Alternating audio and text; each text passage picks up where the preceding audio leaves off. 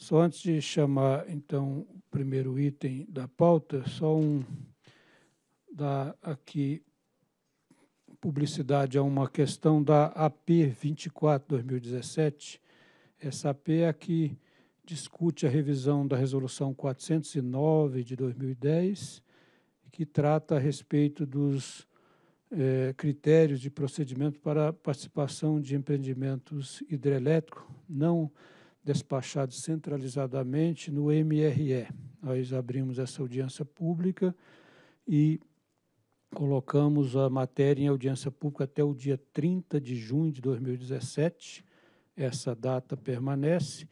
E houve um pleito da Abra PCH e da Bragel de deslocar a sessão presencial do dia 14 do 6 para o dia 26 do 6. Isso foi acatado pelo diretor relator, que é o doutor Reive, que não está presente, mas pediu que eu fizesse aqui essa, é, essa manifestação. Então, fica mantido o período de audiência pública, mas a sessão presencial, que seria no dia 14 do 6, passa para o dia 26 do 6, a partir das 14 horas, no mesmo local.